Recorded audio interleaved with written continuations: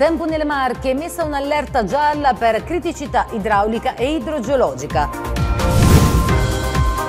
Trasformare il canale Albani in un corridoio ecologico, la proposta di Ser Filippi che ha incontrato Enel Green Power è urgente, evidenziato il sindaco l'intervento di disinfestazione contro le zanzare. Ex caserma Paolini, l'assessore Santorelli replica a Cucchiarini, lavori già avviati, dialogo continuo con il demanio, previsto anche un confronto con la città e il consiglio comunale.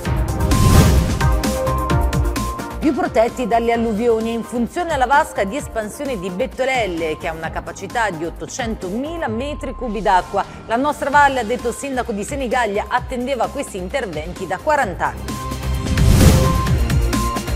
Da Pesaro a Roma in treno per il Giubileo 2025. L'iniziativa che accoglierà 700 fedeli è stata presentata dall'Arcivescovo Salbucci. In programma anche un convegno informativo. Alla Chiesa del Suffragio si è tenuto l'ultimo appuntamento dei giovedì della confraternita, tema della serata i 70 anni della Madonnina del Miracolo. Codman di Rosciano gremito per la festa del socio, Bici Cifano premiati i vincitori del 22 torneo di bocce. Presentata a Cartoceto l'affiliazione tra Real Metauro 2018 e Fiorentina, obiettivo aumentare il livello qualitativo e far emergere le potenzialità di giocatori e allenatori.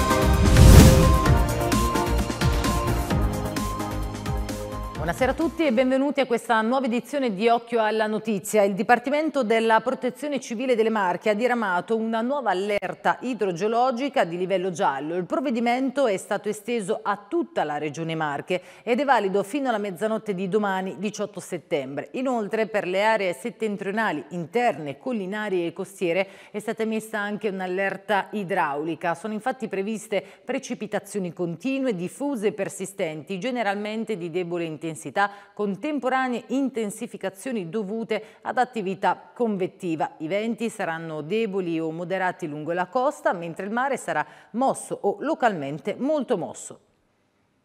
Disinfestazione delle zanzare, cura del verde, protocollo per la gestione degli anatidi e futuro del canale Albani. Sono questi i temi affrontati durante l'incontro che si è tenuto oggi tra l'amministrazione comunale di Fano ed Enel Green Power. Ce ne parla il sindaco Ser Filippi che ha lanciato una proposta. Sentite. Continua il percorso con Enel Green Power che è la gestione del canale Albani. Questa mattina, Sindaco, c'è stato un nuovo incontro. Ci sono delle novità sulla disinfestazione rispetto a ieri? Sì, come già ci aveva anticipato, Enel Green Power è disponibile a fare la disinfestazione dentro il canale, quindi abbiamo deciso insieme di iniziare, riniziare insieme, quindi probabilmente tra domenica e lunedì quando il tempo lo permetterà, quindi che non ci saranno più le precipitazioni, sia il Comune per quanto di sua competenza, sia Enel all'interno del canale provvederà alla disinfestazione. Avete discusso anche del rinnovo del protocollo d'intesa per la gestione dell'avifauna, che cosa è emerso? Sì, a fine anno è in scadenza il protocollo d'intesa, quindi intendiamo aggiornarlo anche alla luce delle novità, nel senso che quest'estate purtroppo c'è stato l'avvento dei lupi, oggi possiamo conclamarlo, possiamo dirlo chiaramente che erano dei lupi, quindi è importante aggiornarlo, noi li abbiamo messi in sicurezza, eh, nel, nella Darsenal borghese e eh, quindi è importante continuare con il protocollo d'intesa e c'è la disponibilità di Enel a continuare questo percorso importante. Qual è la sua visione a lungo termine sul futuro del canale Albani? Sì, allora innanzitutto riconosco nel Green Power che ho, ho sollecitato quest'estate sin da subito per la pulizia lungo il canale, soprattutto nella tratta urbana da Sant'Orso a Fano e nonostante loro hanno avuto difficoltà con la ditta hanno sempre risposto positivamente ai miei interpelli io ho chiesto a Enel se eh, erano interessati a ragionare in prospettiva, perché non è possibile ogni estate ragionare in emergenza con le, le anatidi piuttosto che con il verde, piuttosto che con le zanzare oggi. Quindi è importante ragionare in prospettiva e ho lanciato il tema di un interramento del canale Albani che potrebbe diventare veramente un corridoio ecologico che eh, collega collega il centro storico con la nostra periferia. Questo significa sicuramente chiudere definitivamente questo corso d'acqua, che è un, un corso d'acqua secondario, e naturalmente a questo punto Enel uscirebbe di scena e potrebbe invece tornare molto utile a tutta la collettività e quindi con i sottoservizi da parte di ASET che a questo punto potrebbe allacciare e creare anche le fognature sia, eh, quindi sia acque chiare che acque scure e utilizzarlo anche per le acque reflue come oggi, quindi tutte le acque meteoriche che vanno a finire all'interno del canale. Quindi un utilizzo completamente diverso, visionario, sulla quale eh, ho colto con molto piacere diciamo, la disponibilità da parte di Enel a ragionare, anche in vista della scadenza della concessione che è nel 2029. Quindi dovremo fare tutti i passi necessari per far sì che arriviamo a un progetto, a uno studio di fattibilità per ragionare su queste ipotesi. Naturalmente lasceremo invariata la parte finale, eh, quindi con un laghetto che appunto diventerebbe artificiale perché comunque i fanesi sono molto affezionati, i, i bambini ma non solo, eh, ad esempio a tutto il tratto dei passeggi e anche il tratto finale, quindi potremo continuare a tenere eh, sul lato finale sia una pista ciclopedonale sia un laghetto artificiale per, eh, per, le anetre. È un tema che lancio, che ho lanciato insieme agli assessori Ilari, Curzi e Maghernino ma che abbiamo condiviso in giunta e che secondo me potrebbe rappresentare veramente un, quello che serve a Fano. Penso che le dichiarazioni del professor Burioni sul focolaio autoctono del virus dengue emerso a Fano e a San Costanzo dovrebbero sollecitare la giunta regionale ad attivarsi per contenere ed evitare il rischio di una diffusione del virus su tutto il territorio regionale. Lo dichiara il consigliere regionale del Partito Democratico Renato Claudio Minardi che ha presentato un'interrogazione sottoscritta anche da altri consiglieri del partito. Ritengo, ha detto Minardi, che almeno per il futuro il problema debba essere affrontato in modo modo preventivo e non a posteriori. Sarebbe bene infine che la Regione si facesse promotrice di una campagna di comunicazione per spiegare bene ai cittadini quali sono le modalità di contagio e cosa fare per prevenirlo. Ora torniamo a parlare dell'ex caserma Paolini perché oggi l'assessore Alberto Santorelli ha replicato alla consigliera del PD Sara Cucchiarini che ieri ha presentato un'interrogazione per chiedere alla Giunta se ha avviato le interlocuzioni con il demanio dopo il trasferimento del bene a titolo gratuito e se intende portare la delibera di acquisizione in Consiglio Comunale rimasta in sospeso durante le elezioni. Sentiamo.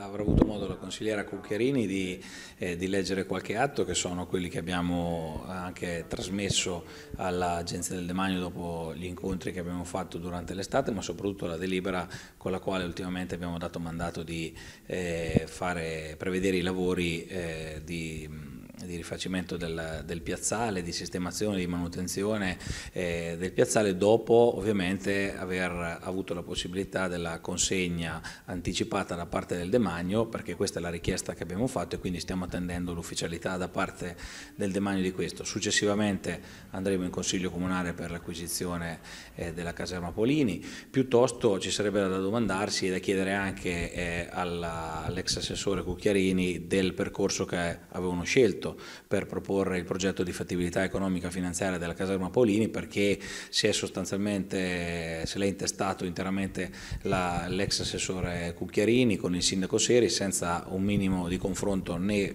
presumo con la giunta né sicuramente con il consiglio comunale né tantomeno con la città. Quindi c'è una somma eh, di fatto impegnata di 8 milioni di euro che prevedono eh, degli iter che non sono stati per nulla condivisi cosa che invece faremo noi eh, ovvero con un processo di condivisione della, eh, con la città e anche con, con, il Consiglio Comunale, ma posso dire alla consigliera di stare assolutamente tranquilla perché eh, da parte nostra eh, non c'è alcuna volontà eh, laddove gli iter sono, sono corretti a portare avanti le questioni. Invece, visto che fa riferimento a delle eh, variazioni di bilancio fantasiose, dimostreremo con atti in Consiglio Comunale che abbiamo eh, diciamo, in questi mesi dovuto far fronte ai tanti debiti e soprattutto alle tante macerie delle opere pubbliche che la precedente amministrazione ha lasciato e quindi abbiamo dovuto rimpinguare i capitoli, i progetti, i finanziamenti e le opere e gli appalti per andare a intervenire laddove l'incapacità della precedente amministrazione ha lasciato quello che oggi si vedono eh, nei cantieri nella città e sui quali abbiamo dovuto destinare tantissime risorse. E c'è un'altra interrogazione che ha depositato il PD di Fano e che riguarda i ritrovamenti archeologici all'interno del cantiere di piazza Andrea Costa. I consiglieri comunali Fanesi, Cucchiarini e Tinti chiedono al sindaco e alla giunta se esistono informazioni dettagliate sui ritrovamenti, come proseguirà il cantiere, anche contemperando le necessità degli ambulanti, se si continuerà l'indagine archeologica a livello romano e se verrà aperto il terzo settore per una esplorazione unitaria. Ora passiamo alle vostre segnalazioni che ci portano prima in zona Sassonia dove un nostro telespettatore ha girato questo video nel passaggio pedonale del cavalcavia di Viale Battisti. Come si evince, ci ha scritto il reporter, manca l'illuminazione e il percorso è completamente al buio, ciò rende il posto molto pericoloso.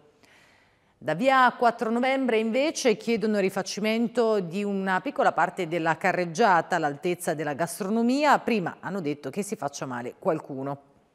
Ora cambiamo argomento a Senigallia in funzione della prima vasca di espansione in zona Bettolelle Brugnetto a 40 anni dalla sua ideazione. Una data simbolo per il territorio colpito dall'alluvione di due anni fa. Il servizio è di Carlo Leone.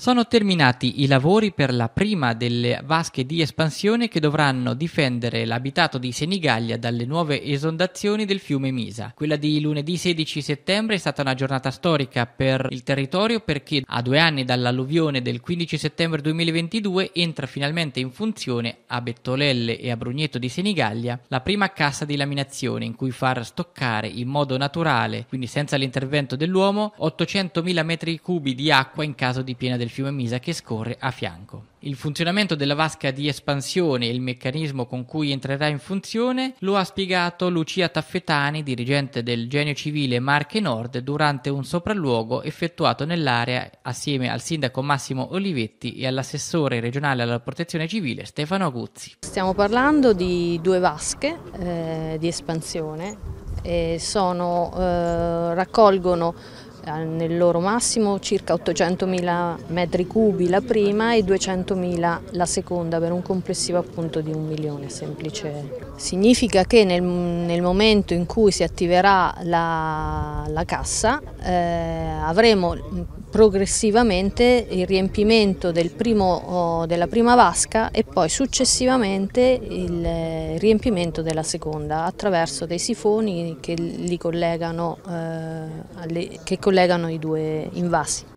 Cosa cambia con l'entrata in funzione della nuova vasca di espansione a Brugnetto Bettolelle? Lo scopo è quello di ridurre la pressione sull'abitato senigalliese in caso di precipitazioni abbondanti che facciano salire repentinamente il livello del fiume. Per questo è soddisfatto in primis l'assessore Stefano Guzzi che ha parlato di un'eredità raccolta e finalmente portata a compimento dopo circa 40 anni dalla sua prima ideazione. Lo stesso Guzzi ha però anche avvertito che quest'opera ingegneristica non azzererà il rischio di nuove esondazioni milioni. Abbiamo suddiviso in due il progetto, uno da 6 milioni di euro, 800 mila metri cubi, che è quella che inauguriamo oggi, altri 900 mila euro per altri 200 mila metri cubi che sono in ampliamento in questo momento. Questo non impedisce però oggi di avere una vasca di espansione perfettamente funzionante, perché grazie proprio ai lavori partiti nel 2021 poi danneggiati e rallentati purtroppo anche qui dall'alluvione del 15 settembre, successivamente ripresi e oggi ultimati ci consentono di avere a disposizione un'area di espansione che in caso di una grande piena che potrebbe mettere in pericolo diciamo, a valle di questa zona, Senigallia e anche le frazioni limitrofe, di esondazioni, no? come è avvenuto purtroppo più volte in passato, ecco in questo caso l'acqua esonderebbe qui in maniera naturale. Di conseguenza non esonderà più all'interno di Senigallia, ma esonderà qui in questa vasca di 800.000 metri cubi. Particolarmente soddisfatto si è dichiarato il sindaco di Senigallia Massimo Olivetti, che ha però posto l'accento su ulteriori interventi da realizzare nel prossimo futuro. Da un lato ci sono le problematiche problematiche della zona della Marazzana, con una nuova area di laminazione naturale da realizzare sempre a difesa del centro storico di Senigallia. Dall'altro ci sono le delocalizzazioni delle abitazioni a Valle di Bettolelle che sono state richieste da alcuni abitanti e di cui il sindaco Olivetti sta parlando assieme alla struttura commissariale e alla regione Marche. Oggi questa non è una, è una vasca che sicuramente sappiamo benissimo tutti che non sarà risolutiva per il territorio, soprattutto per il territorio senegallese, ha necessità di altri interventi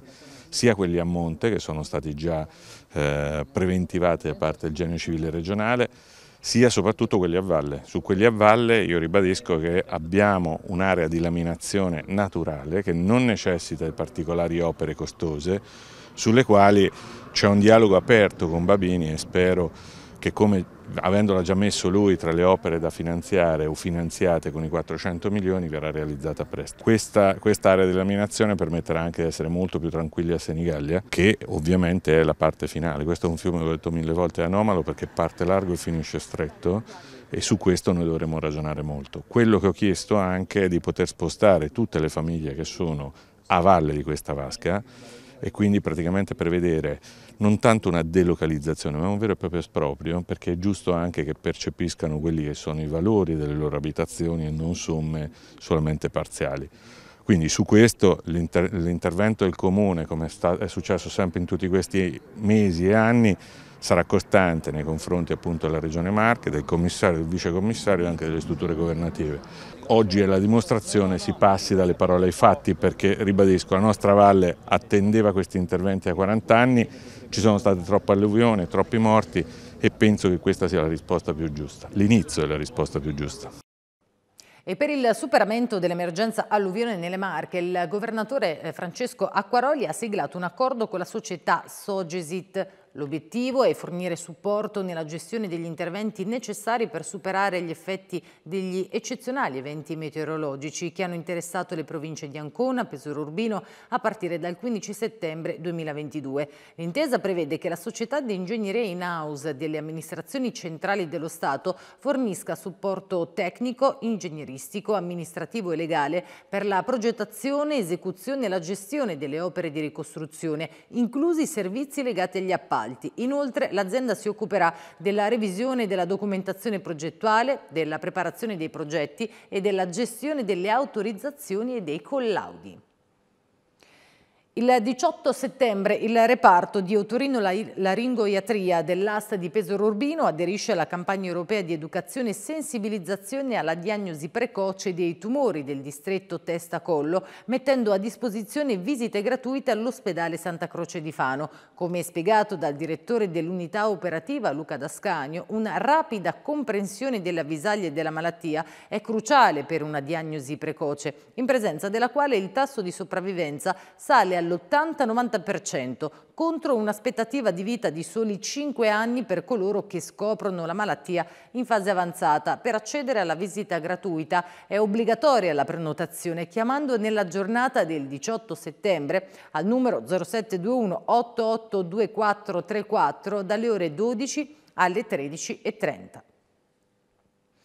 Il prossimo 22 febbraio 700 fedeli viaggeranno da Pesaro a Roma in treno per il Giubileo. A presentare l'iniziativa è l'arcivescovo Sandro Salvucci e maggiori dettagli verranno forniti durante il convegno che si terrà il 19 settembre all'Auditorium Scavolini di Pesaro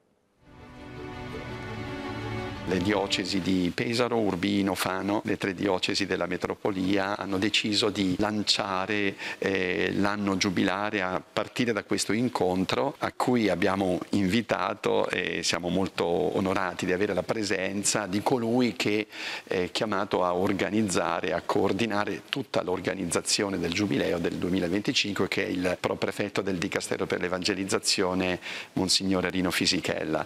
E quindi siamo molto contenti di accogliere tutti quelli che vorranno all'Auditorium Scavolini.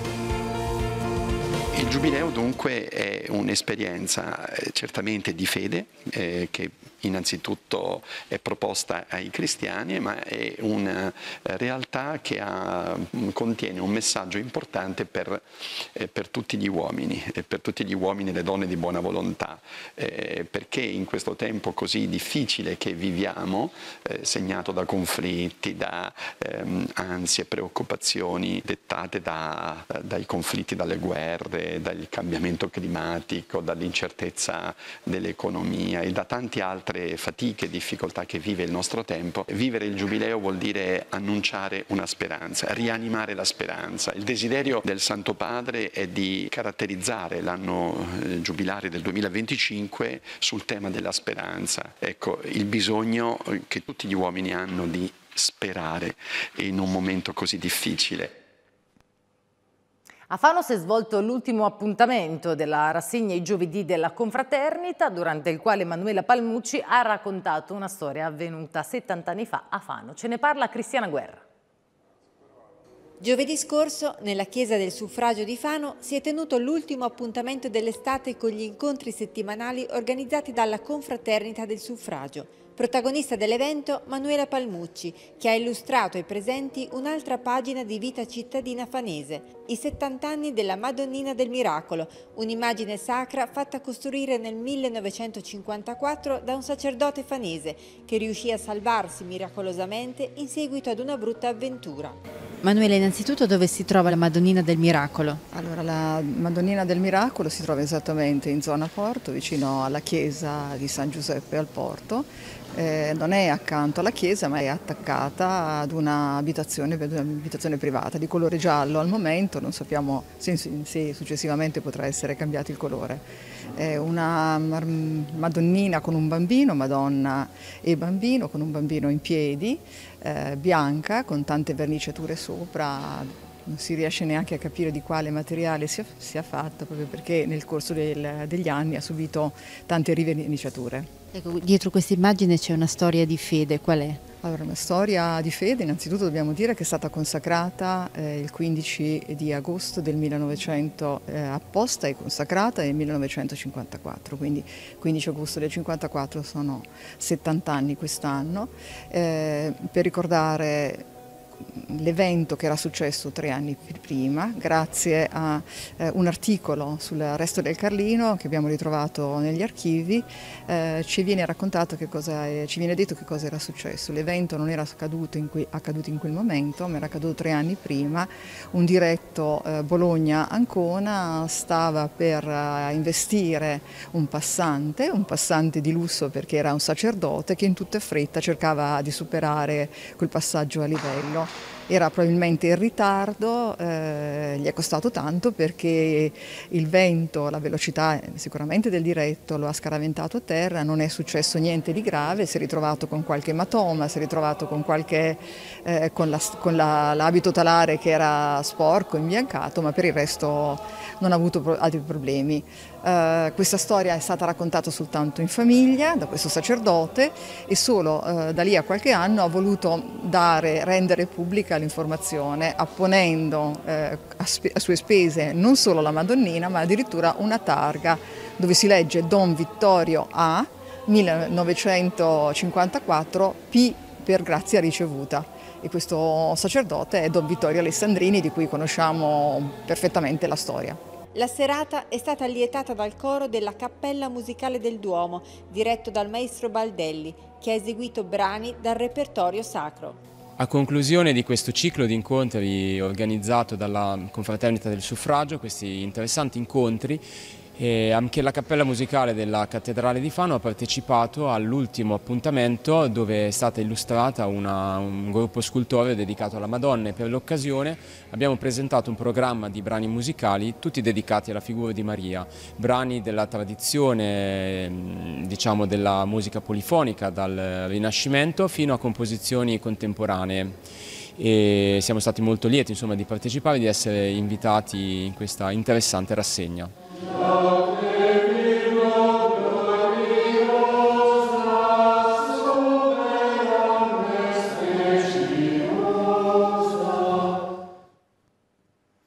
ci spostiamo al Codma di Rosciano a Fano dove si è svolta con una grande affluenza del pubblico la festa del socio BCC Fano. L'iniziativa è stata anche l'occasione per premiare i primi nove classificati del torneo di bocce rivolto a soci, clienti, amministratori e dipendenti della banca. Al primo posto si è classificata la coppia formata da Enrico Lisotta e Flavia Morelli. C'era per noi Stefania Schiaroli.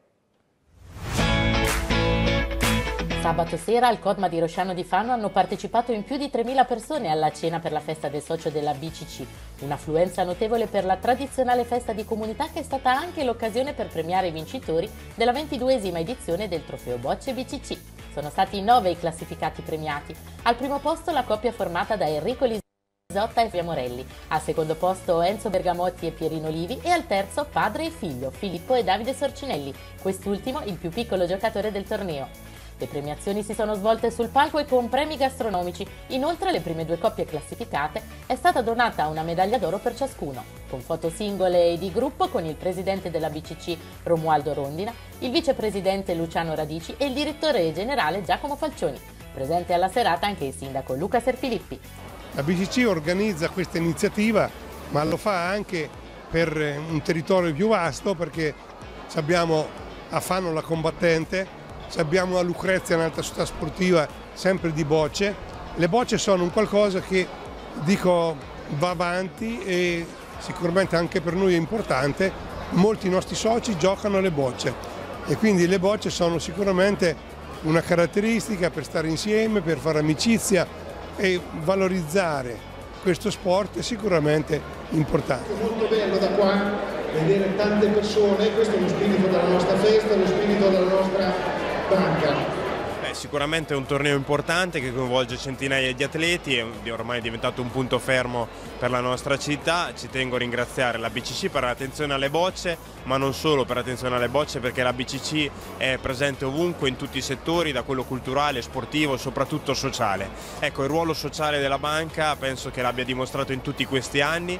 La BCC è un punto di riferimento per il nostro territorio e num i numeri ne parlano da soli, nel senso oltre alle presenze questa sera di oltre 3.000 persone, oltre 9.000 soci. Quindi direi una banca in continua evoluzione che è vicina al territorio e vicina alla nostra città.